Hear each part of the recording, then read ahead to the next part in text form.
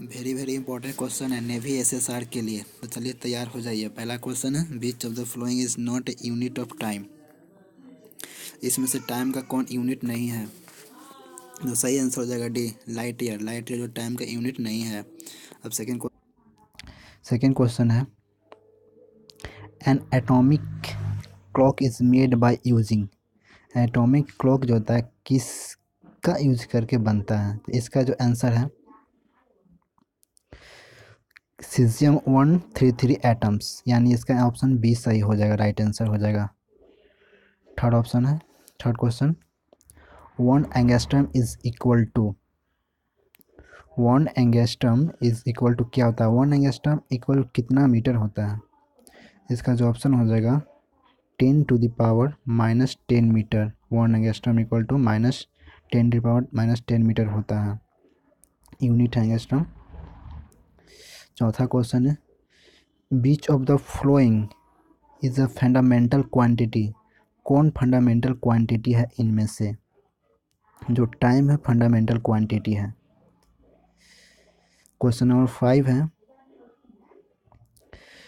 SI system consist of SI system क्या consist करता है?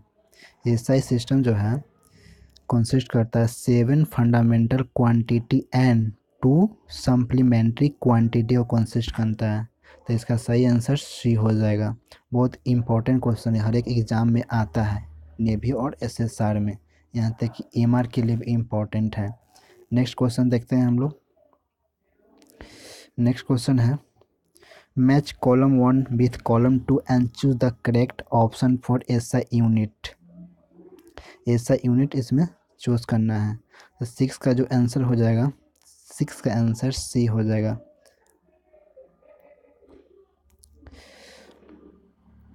सिक्स का आंसर सी हो जाएगा। जो इसका जो आंसर है, इसका आंसर सी हो जाएगा। सिक्स का आंसर सी होगा। अब क्वेश्चन नंबर सेवन में आता है।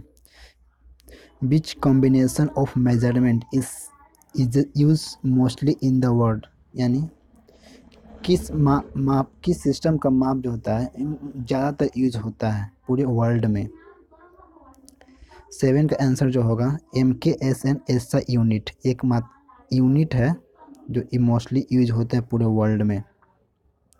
अब क्वेश्चन नंबर सेवन में आते हैं। The quantity having the same unit in all system कौन सा जो क्वांटिटी है कौन सा ऐसा जो क्वांटिटी है, उसका जो यूनिट होता है इन ऑल सिस्टम में सेम होता है। कौन सा क्वांटिटी है? इसका आंसर जो टाइम